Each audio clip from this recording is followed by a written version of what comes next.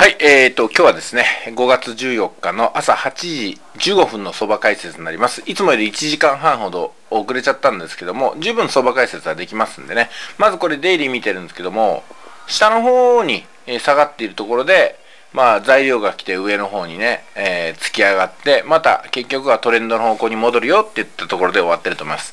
えー、もう一回確認しますよ。えー、こういうふうにトレンドの方向ができていました。そこに不意にですね、材料が入ってきて上の方に向かったんですよ。でも結局はトレンドの方向に向かいますからねっていうことで、ここが確認できたわけなんですね。ここまでよろしいですか？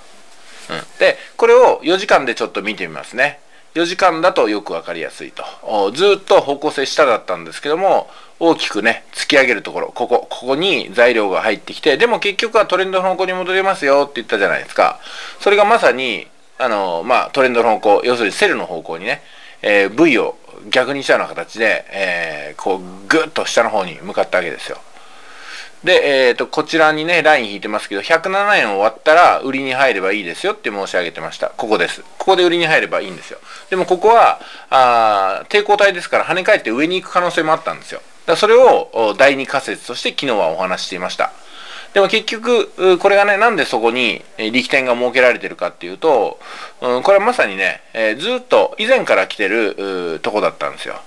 でもここを突き破れば、まあ、売りに入れますんで、まあ、大体今線引いてるところまではね、ヒゲ先までは取れる余地があったかなっていうところです。まあ、ヒゲ先までね、きっちり取れることはないんで、まあ、十数ピップス、この辺までは十分取れていたんではないかなと思いますよね。やっぱりこう、予約注文するじゃないですか。予約っていうか、その、 take profit ラインを設けるじゃないですか。リスクリワードで。まあ、そうすると、ここになるわけなんですよ、ピタリと。ですので、ここは取れといてほしいなと思います。うん、で、その後、こういうふうにね、反対向かうわけですけども、1時間の方を見てみましょう。はい、トレンド下に向かってるじゃないですか。うん、で、この、このヒゲ。このヒゲが出たんで、今度は上に向かっているよと。まあ、横ばいに向かうと思うんですけどね。ちょっと若干上の方に行ってますよね。で、えっと、力点を指し示すとする。この幅が取れてほしいよってことなんですよ。今、上下に揺れてますけども。で、力点はどこにあるかっていうこともね、ちょっとお話していきたいんですけども、トレンドの方向、こういうふうに下の方に向かってますよね。で、これがどこで抵抗を受けるのかってことなんですよ。抵抗を受けたところでもしかしたら上の方に跳ねるってこともあるんで、第2仮説立てました。抵抗はここです。ここがきっかけになって、ここに強い力点が存在しますんで、ここで跳ね返される可能性だったんだけども、跳ね返されずに下の方に潜りましたんでね、今線引いたところまでは取れていけるでしょっていうお話になったわけですよ。